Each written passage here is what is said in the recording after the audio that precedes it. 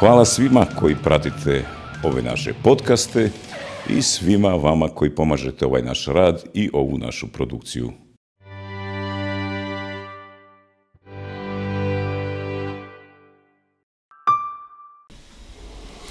Dobar vam dan, dragi prijatelji. Ja sam Damir Ljubičić, a ovo je tjedni pregled naših društvenih budalaština, koje ćemo stoga iz pristojnosti nazvati rock and roll politikom iz pera novinara Dinka Dedića. I ovog su se tjedna nastavile prošlo tjedne budalaštine, kao što se to u neprekinutom nizu događa već čitavih dva desetljeća. Pa smo tako doživjeli i preživjeli prijateljsku posjetu srpskog predstavnika u predsjedništvu Bosne i Hercegovine Milorada Dodika, Plenkovićevoj i Milanovićevoj Hrvatskoj.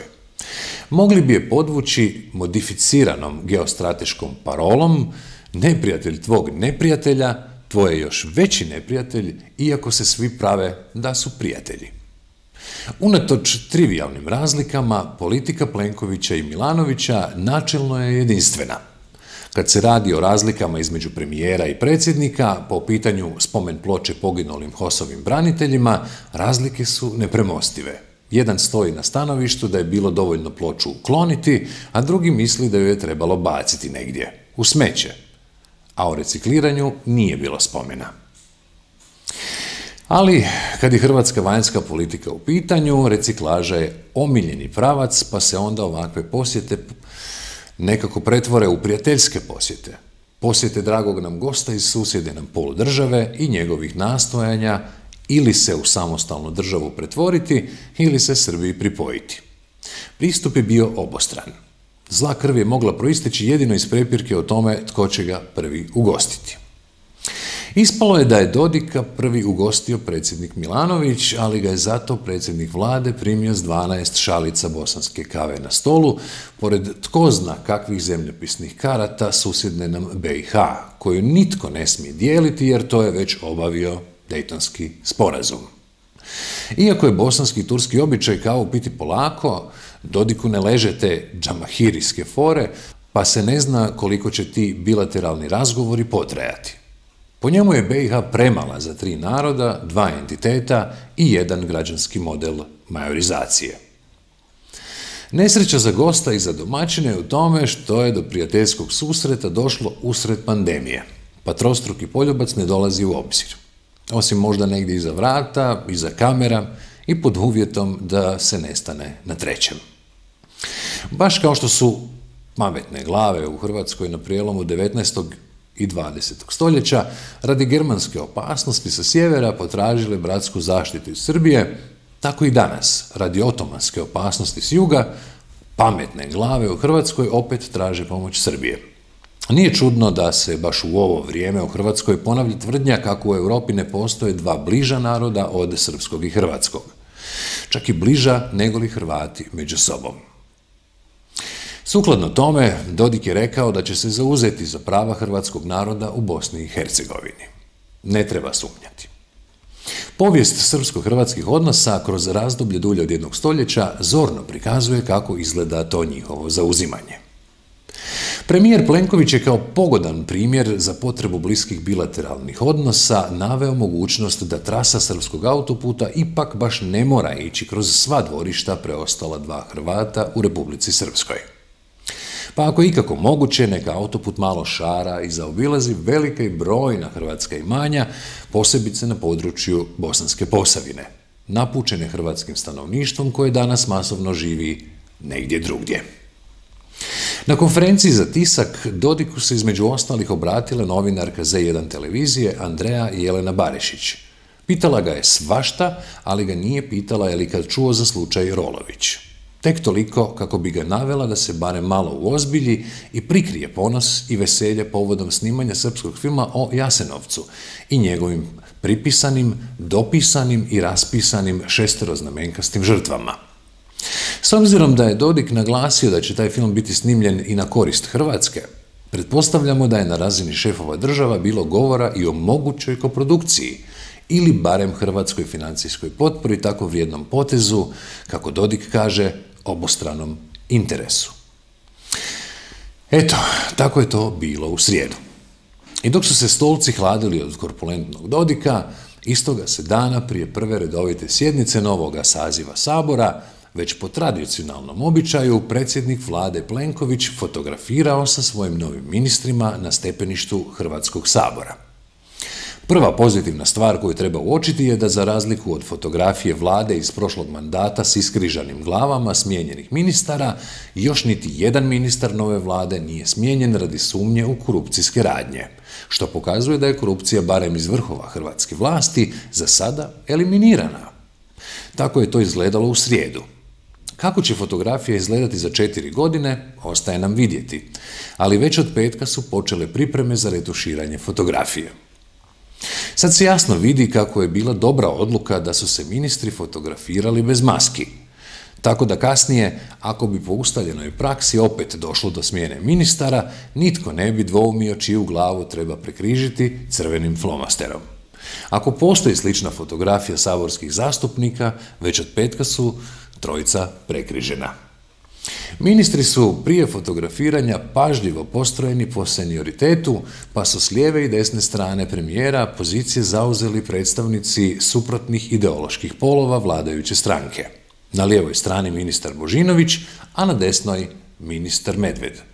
Odmah iza premijera u drugom redu stoji Milošević, koji simbolizira ovu slavnu srpsko-hrvatsku koaliciju, koja simbolizira konačnu verziju pomirbe a koji je u samim počecima hrvatske samostalnosti pokrenuo prvi predsjednik Tuđman.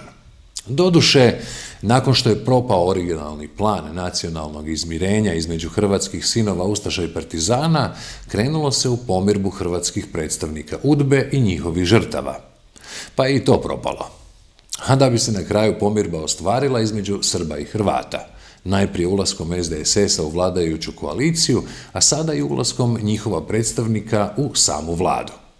Kao što se vidi na fotografiji, ministri od manjeg značaja, poput ministra vanjskih poslova, školstva, zdravstva i drugih resora, stavljeni su u zadnje redove.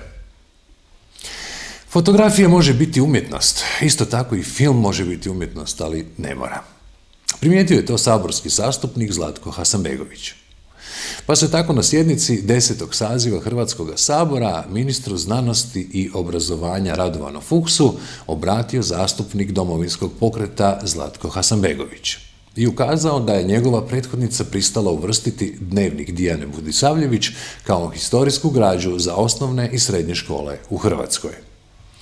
Hasanbegović je taj film nazvao protudokumentarnim, s utvrđenim poluistinama, lažima i besmislicama. Tako je Hasanbegović iznio, citiram, u filmu je zagrebački nadbiskup Alojzije Stepinac opisan kao kukavica i kolebljivac te označen kao ispovjednik upravitelja Jasenovačkog logora, što je u skladu s tvrdnjama srpskog ministra Vulina o Stepincu kao ustaškom vikaru. Hasanbegović je Fuksa upitao koliki je interes Hrvatske države u školsku nastavu presedanski uvoditi protudokumentarni filmski pamflet kojega je financijski dotirao i Vučić Vulinovski državni filmski centar Srbije. Dodatno, Hasanbegović je rekao kako je u listopadu na premijeri srpskog filma Dara iz Jasenovca, financiranog iz istog srpskog izvora, bez imalo moralnih dvojbi i srama nastupala i predstavljala svoj film autorica filma Dana Budisavljević. Ako iz kurikula ne izvadi dnevnik Dijane Budisavljević, Hasanbegović je Fuksu sugerirao da onda nema nikakvog razloga da se u kurikul ne uključi i Daru iz Jasenovca, pa i za Franovićev film Djeca s Kozare. Ali da u životu nije baš sve kao na filmu, vidjeli smo u slučaju zanimljive fotografije zastupnice Katarine Peović, koja je snimljena u Saboru u minici s maskom na licu. Na to se odmah živahna komentatorska scena na društvenim mrežama podijelila oko zaključka je li oku ugodnija njena donja ili gornja polovina.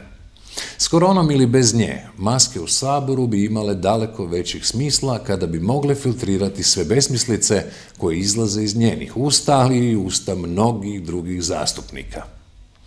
Da je svoju praunuku tako poniženo s brnjicom preko usta vidjela njezina prabaka Afežeovka, na koju je naša Katarina toliko ponosna, baka bi zasigurno uhvatila pištolj ali bi ju isto tako ukorila da je popustila pomodnim pritiscima i prekinula Afežeovu tradiciju, zasnovanu na starom srpskom običaju nebrijanja dok otačbina nije oslobođena, radi čega četnici nisu brijali brade, a partizanke nisu brijale noge. Toliko o brijanju. A sad o onim brijačima koji briju na tuđe tekstove. Naime, da bi se spriječilo koruptivno korištenje državnog parlamenta, Mnoge zemlje zapadne demokracije zabranjuju parlamentarnim zastupnicima čitati svoja izlaganja, pogotovo kada se radi o pitanjima postavljenima ministrima. Kao što je to slučaj u Hrvatskoj, kada zastupnik vladajuće stranke ministru pročita unaprijed pripremljena pitanja, a ministar odmah potom pročita unaprijed pripremljeni odgovor. To očito ukazuje da Hrvatski sabor ne predstavlja platformu na kojoj se vodi rasprava, kristaliziraju pojmovi, postavljaju pitanja, traže odgovori, donose odluke i zakoni, nego tek platformu na kojoj će se javnosti pročitati unaprijed dogovoren, pa čak i od nekoga drugoga napisani tekst pitanja i tekst odgovora. A što parlamentarne zastupnike pretvara u prenositelje tuđih misli i čitače tekstova saboru i javnosti, nepoznatih ljudi, prepoznatljivih iz redova takozvane duboke države. Radi toga bi daleko usklađenije s principima parlamentarne demokracije bilo zahtijevati od zastupnika da ne čitaju svoja pitanja, jer sposobnost čitanja u Hrvatskoj više nije neko osobito umjeće, pa ju ni ne treba dokazivati. Čitanjem. Ali tko ne zna čitati, možda zna pjevati. Pa je tako pri otvaranju saborske sjednice u srijedu zasvirala hrvatska himna, a saborski su zastupnici ustali. Jedni su stajali u stavu mirno s rukama spuštenima uz tijelo, a drugi su stavili desnu ruku na srce u američkom stilu. Ono što nitko ne spominje je da u Americi svi stavljaju ruku na srce, a tamo gdje to nije pravilo, svi stoje spuštenih ruku. U dvopartijskoj Hrvatskoj, gdje je ideološki sadržaj među strankama sličan, a forma i nazivlje različito, otišlo se toliko daleko da se na tonove jedinstvene nacionalne himne lijepe naše ne zauzima jedinstveno prihvaćen tjelesni gard, nego onaj oktroiran partijskom stegom. Stranac neupućen u specifične hrvatske političke perverzije lako bi mogao zaključiti da se ovdje radi o dva naroda koji su uspjeli se nekako usuglasiti oko zajedničke himne, ali su zadržali svoje tradicijske običaje držanja tijela.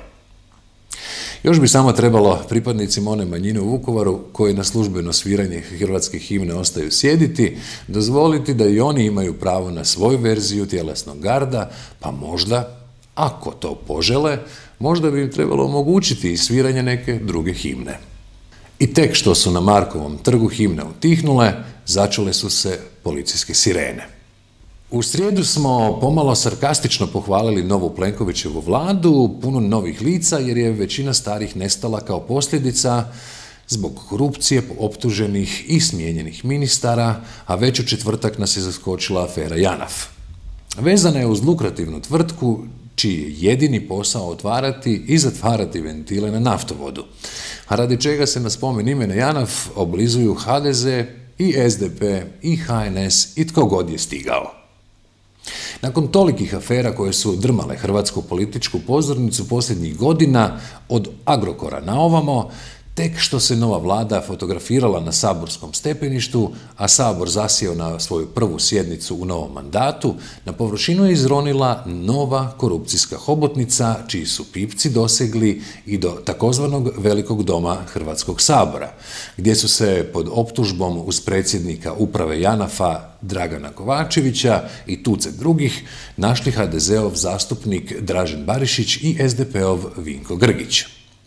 Sve je počelo izgledati kao pri izboru ustavnih sudaca, po principu jedan njihov, jedan naš. Kao i uvijek do sada, vrhovni zapovjednik oružanih snaga Milanović i vrhovni zapovjednik svega ostaloga Plenković skoro nezainteresirano, kao da su teflonom premazani, hvale DORH i druge institucije koje tako uspješno rade svoj posao.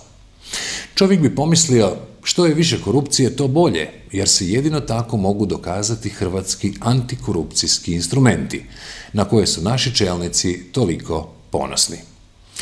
To što se među otkrivenima i okrivljenima nalaze ministri koje su oni imenovali, stranački kolege, saborski zastupnici, gradonačelnici i župani, osobni prijatelji, s nekima od njih su se znali ranije i fotografirati za vječnu uspomenu, sada kao da nema nikakva značaja. Nešto kao iz vremena Staljina i Tita. Retuširaš stare fotografije s kojih jedno po jedno nestaju lica bivših prijatelja. Premijeri i kancelari, baš radi toga da bi mogli odgovarati za njih, sami biraju svoje ministre. Pa kad se pokaže da su napravili vrlo loš izbor, podnose ostavke. A u hrvatskom slučaju, upravo kako se krug optužbi protiv Lovre Kuščevića ovih dana dramatično proširuje, to premijer Plenković izgleda bolje, vedrije, jače i sposobnije. Iz lica naših vođa čak i sijava neprikriveno zadovoljstvom. Ako si čist među čistima, ne možeš se naročito pohvaliti svojom čistoćom. Ali kad se nađeš u prljavom društvu, što je društvo prljavije, lakše je biti čist. I tako je u harmoniji korupcije i političkih budalaština prošao još jedan tjedan. Ne sekirajte se zbog toga, jamčimo vam jednaka uzbuđenja i u sljedećem tjednu. Doviđenja.